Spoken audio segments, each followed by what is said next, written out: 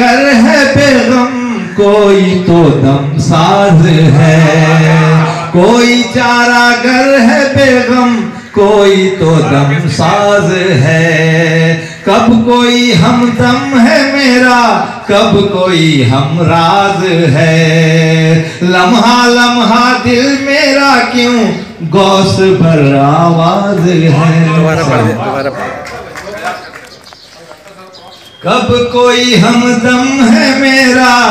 कब कोई हमराज है? कब कोई हमदम है मेरा? कब कोई हमराज है? लम्हा लम्हा दिल मेरा क्यों गोश पर आवाज़ है? जाने किसके नाम से? जाने किसके नाम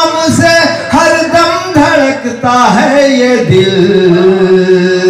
कोई चारा गर है बेगम, कोई तो दम साज है। कोई चारा गर है बेगम, कोई तो दम साज है।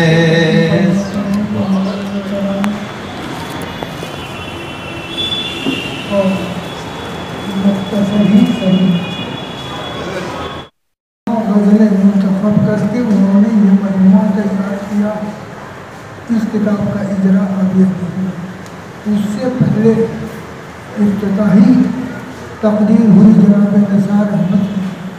वो बहुत काम की तकदीर थी। जो हम किन हालात में सांस ले रहे हैं और ये हालात अदब के लिए, फ़नून के लिए बहुत मुनासिब साबित हो, ऐसी कोई बात नहीं है। लेकिन इसमें भी हमारे हालात की तर्जुमानी की जाती है। वो नज़मों में वजाहत ज़रूर हो जाती है। लेकिन अशारे के नाम जो बात कही जाती है, उसकी मानवीयत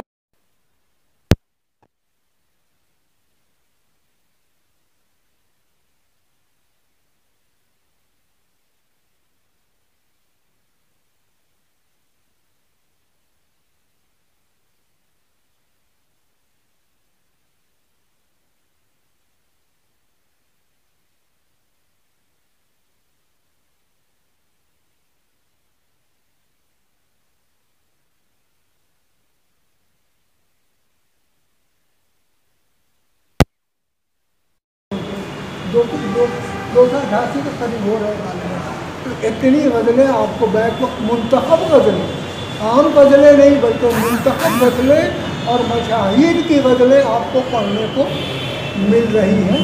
तो गज़ल हमारी शायरी के हवाले से, जैसा कि अर्ज़ किया, वो उर्दू शायरी की आबरू है। उसी एतबार से उसका मुताला कीजिए तो वो आपके महसूस का कहाँ तक साथ देती है।